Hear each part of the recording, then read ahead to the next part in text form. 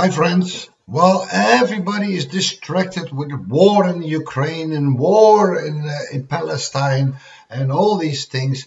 This is what it's all about. This is so important because while we feel sorry for all kinds of people all over the world, right?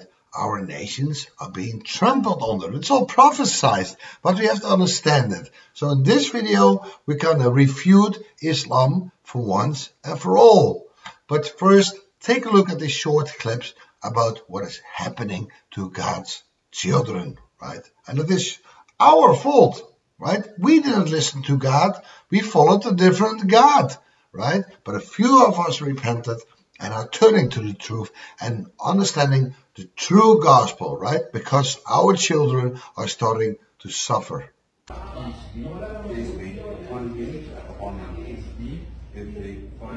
final, and last and last messenger, messenger of Allah. And I bear witness, I bear witness that that Jesus, Jesus is the messenger, is a messenger and follower and follower of of God. محمدا عبده ورسوله I fin I fin bear witness uh, witness there's no deity worthy of worship there's no deity worthy, worthy of worship except Allah except Allah and I fin and I fin bear witness bear witness that Muhammad that Muhammad is his messenger is his messenger and final prophet and final prophet of Allah of Allah Takbir! Yeah, that is uh, really happening. These things are truly happening now, right? And Muslims are so confident about themselves, while they don't understand that it is not Allah who brought them into the West, it was the other people who I discuss a lot on my channel. They opened the doors for Islam to come in. They didn't even have to fight. They couldn't fight us, so they had their brother innocent Trojan horse, right? So let's refute it because a lot of Christians even start to doubt, well, maybe they are part of the Abrahamic family and it's all lies, right? I'm going to explain it to the T. So far, there are many debates between Christians and Muslims, even Christian professors and people with a PhD, college professors, university professors, pastors, all, and historians, they try to refute Islam and they all fail. Look what's happening to the West. We are overrun, right?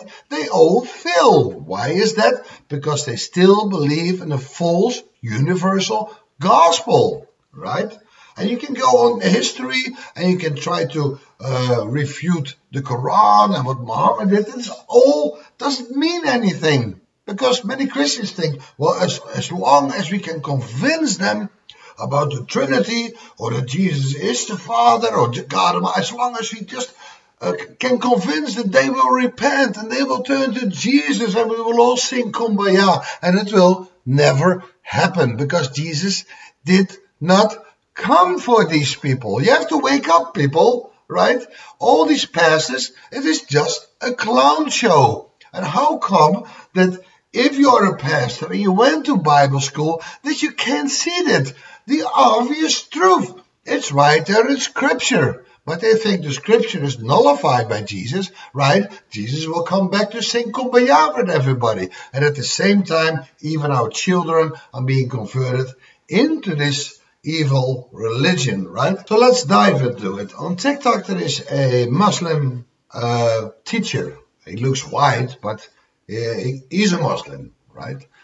But he is lying. And It is not true. So I just commented, uh, and he's not used to Christians knowing the scripture, that he got triggered, right? And because he was triggered, he made a video about my comment. So let's go over this video. The promise made to Abraham only went to Isaac and to Jacob, not to Ishmael.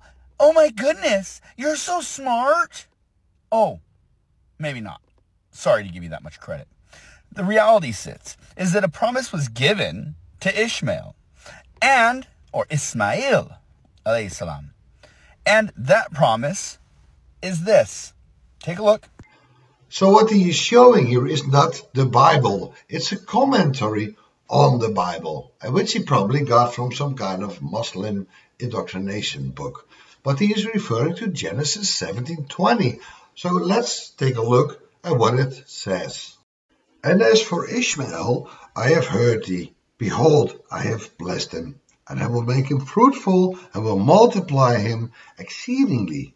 Twelve princes shall he beget, and I will make him a great nation. So this is what he's referring to. See, we will be a great nation. But, you know, the Hindus are a great nation too. That doesn't mean it. Uh, that doesn't mean that this going to be the nation promised to Abraham because they ignore all the surrounding verses. So let's go one verse back and read one verse beyond. And God said, Sarah, thy wife, shall bear a son indeed, and thou shalt call his name Isaac. And I will establish my covenant with Isaac for an everlasting covenant and with his seed after him. Then we come to, but for Ishmael I have heard thee. Okay, behold, I have blessed him. and will make him fruitful. and will multiply him exceedingly. Twelve princes shall he beget, and I will make him a great nation. But my covenant will I establish with Isaac, which Sarah shall bear unto thee at this set time in the next year. So God made a covenant with Abraham, right? And from his loins would come a nation and a multitude of nations from his seed. And the promised seed was going to go to Abraham and Sarah. But Sarah was old and Abraham lost patience and made a son with his bondwoman from Egypt, uh, Hagar. And they got a child called Ishmael. But God said, this is not the promised seed, right? We just read it. The promise and the covenant will go to Isaac. So later Sarah got pregnant and they beget this promised seed, this Isaac, right? So Muslims like to uh, cherry pick verses and they say, well, here it says that Ishmael was going to be a great nation. Yes, right? Ishmael was sent away, right? Ishmael was jealous of Isaac. Ishmael even tried to kill Isaac, so they sent him away. He was blessed. Go your way. You're going to be a great nation. You're going to be the father of, of a great nation. That's it. That's all it says. But we just read it. The promise to Abraham went to Isaac. So let's take, let, let's listen what, what else he has to say. There you go says that God, in God's opinion, a great nation is promised to Ishmael. No great nation under God respecting any of any of the prophets. Yes, Ishmael would be a great nation, but it, nowhere does it say a great nation under God. It doesn't say that. He just adds that. Where does it say that? That the Ishmaelites would be the people of God. That is just not there. He just adds things. He makes things up. Ever, any of them, was Islam. Islam accepts all the prophets from Adam all the way through to the end. Prophet Muhammad, peace and blessing be upon him. So he says that Muslims respect the prophets all the way from Adam to Muhammad. But this is oxymoron. Muhammad was not of that same bloodline at all, right? It, Muhammad claimed to have come from Ishmael, right? Nothing to do with the biblical genealogy. We accept them all. We are the final revelation. And as in the beginning, the firstborn, also in the end, he is the one who has the final religion. And he has the final way of life. So he claims that Muhammad is the final revelation, the final prophet of the Bible. And one of the reasons, oh, there are two main verses uh, they use to make this claim. The first one is in Deuteronomy 18:18, where God will raise up a prophet like Moses. They say that is Muhammad, obviously, but let's take a good read. I will raise them up uh, he's talking about the Israelites, right? I will raise them up a prophet from among their brethren. So this prophet would also be an Israelite. And Muhammad was not an Israelite. And I will put my words in his mouth, and he shall speak unto them all that I shall command him.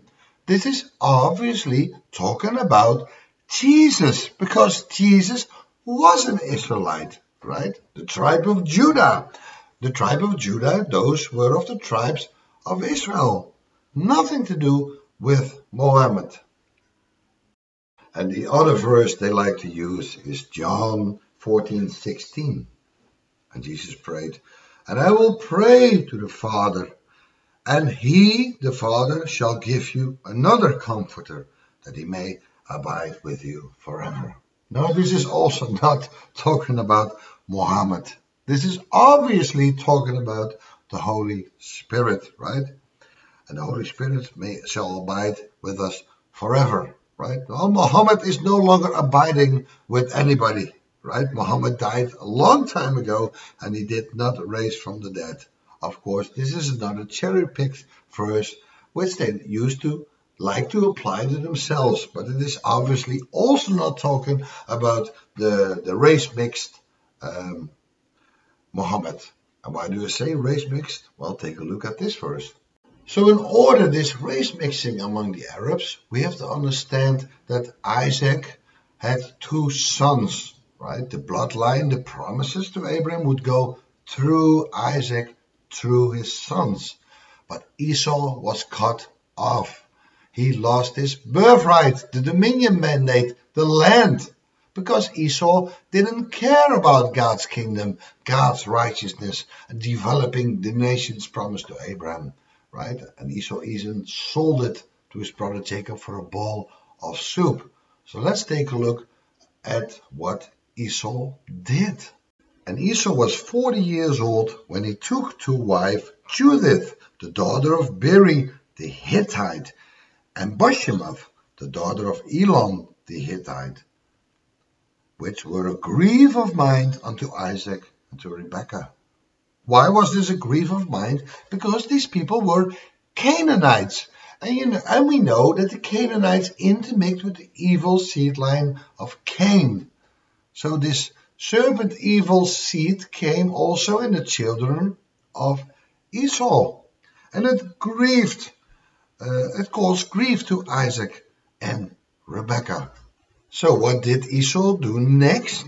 Right? Let's read it in chapter 28. And Isaac sent away Jacob, and he went to Paddan Aram unto Laban, son of Bethuel the Syrian, the brother of Rebekah, Jacob's and Esau's mother. When Esau saw that Isaac had blessed Jacob and sent him away to Paddan Aram to take him a wife from thence, because these were the same people, he was sent there to marry and find a wife of his own people. And that, as he had blessed him, gave him charge, saying, Thou shalt not take a wife of the daughters of Canaan, because there are also Canaanites living there. Don't take one of them, take one of your own. And that Jacob obeyed his father and his mother and was gone to Paddan Aram. So Jacob was faithful. He obeyed, right? He obeyed his father. But Esau, seeing that the daughters of Canaan pleased not Isaac his father, Esau married and made babies with Canaanites, and it did not please his father. Esau went unto Ishmael and took unto wives which he had Mahalath, the daughter of Ishmael, Abraham's son, the sister of Nebaioth, to be his wife. So now we see that Esau intermarried with Canaanites, right? His children had this Canaanite evil blood, and now Esau also went to the Ishmaelites and corrupted his daughters, right? And don't you think all these people would intermarry also with each other, right? And these intermixed people were called Edomites, but they were in close relationship to Ishmaelites.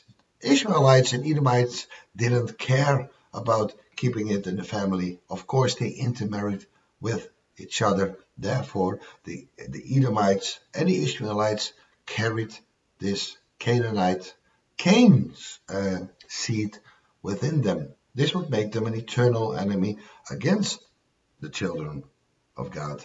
Religion. And he has the final way of life. And his nation is the nation under Allah, the nation of Muhammad sallallahu alaihi wasallam. It is prophesied three times in the Old Testament that Ismail shall have a great nation. And a great nation, if God says it, it means it's a monotheistic nation that God approves of. Oh, that kind of fucks you up, huh? Kind of fucks everything up, doesn't it? Excuse my language, but your whole plan's destroyed. Now, I'd like to bring mm-hmm. an oldie but a goodie. And just a moment before I do that, preface, you're not promised the land without condition. Do you not realize that? You have taken other gods like the star, like the army, like your lineage and your bloodline over the Torah. You know, 90% of those in Israel don't even practice Judaism. Yeah, he keeps saying that uh, Ishmael would be a great nation, right? But what kind of nation? What kind of man uh, would Ishmael even be? Well, let's read it. So it's very clear that the Bible tells us over and over again that the promise to Abraham would go to Isaac, the son born of Abraham and Sarah. But Abraham had sex with his bondwoman Hagar, right? So the angel of the Lord tells Hagar, Behold, thou art with child, and shalt bear a son, and shall call his name Ishmael, because the Lord had heard thy affliction. And he, Ishmael, will be a wild man, right? Even a wild donkey of a man in other translations. What is a donkey? A donkey is a very stubborn, stupid, ignorant animal, right? And we see that Arabs are very ignorant and stubborn. His hand will be against every man and every man's hand against him, and he shall dwell in the presence of all his brethren. Does it say that he shall dwell in the presence of God? No, he shall dwell in the presence of his brethren, but he will constantly fight everyone. And we see that Ishmaelites were constantly fighting each other and others, right? This is the prophecy about Ishmael, nothing to do with the kingdom of God. And secondly, he starts to talk about the Torah, right? No one keeps the Torah. We keep the Torah. Listen, the Torah was not given to Ishmael. Never. The Torah and the covenants were only given to Abraham, Isaac, and Jacob. The continuation of that bloodline, nothing to do with Ishmael. Let me prove it to you. So uh, this, this video would be too long if I covered the entire Old Testament, but we should know that the covenant at Sinai was given to Moses.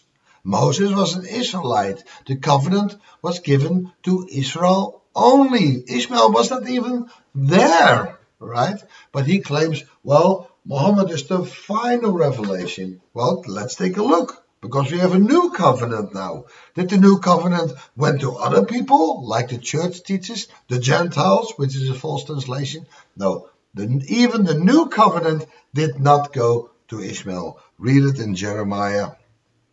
Behold, the days come. It's a prophecy about a new covenant that God will make with his people. Behold, the days come, said Yahweh. I will make a new covenant with who? With Ishmael? No, with the house of Israel and with the house of Judah. So how can how can Muhammad even be the final prophet if he's not of Judah and Israel, right? This is the ignorance they live in, right? Uh, the new covenant, the old and new covenant were given to the same people and the same people alone, right? Yes, nothing exists without God, but God calls his people a peculiar people he loves. Let's read some more. Hear this word that the Lord has spoken against you, O children of Israel, against the whole family which I brought up from the land of Egypt, saying, You, Israel, only have I known of all the families of the earth. Therefore I will punish you for all your iniquities. God knew only his people, the people from Israel.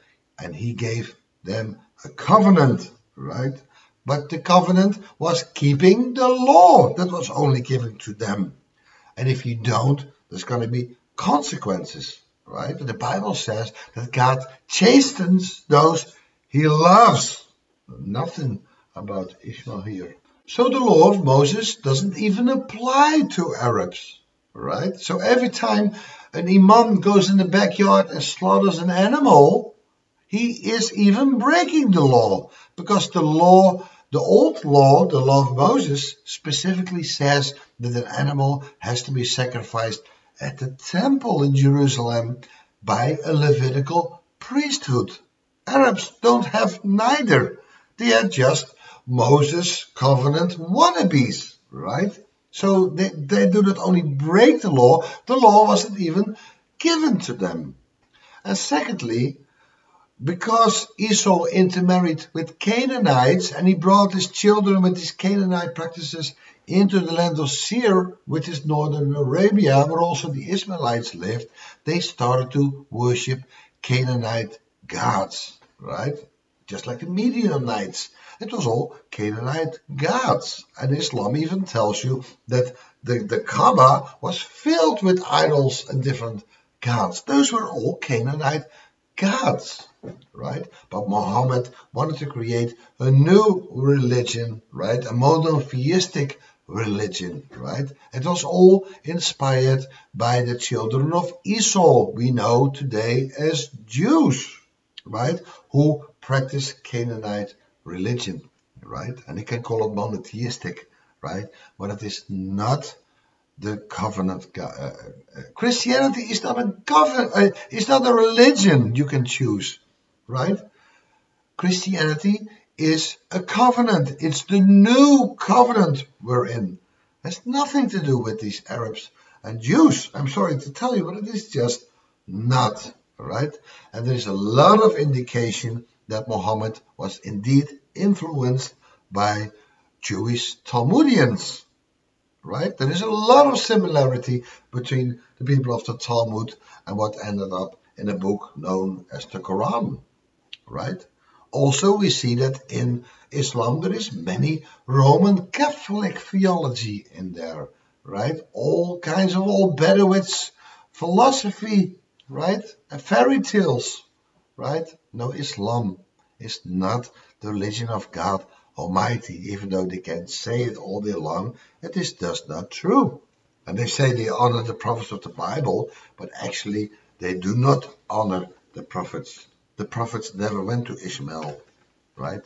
The prophets were preaching to the brothers of Israel, right? Nothing more, nothing less. But the problem with the church is that they think, well, God loves everybody, right? If you just believe in Jesus, so they try to convert Muslims, try to convince them that Jesus is God, and then hopefully they will become Christian, and it will not work. Yes, some Muslims convert into this universal religion of Christianity, but I'm not talking about this false religion. I'm talking about the covenant that was given to us. Our forefathers broke it, right? We were divorced, scattered, but reconciled. And the people of us, our forefathers left in Judah, they also moved out, went into the Roman Empire. Everything was destroyed, right?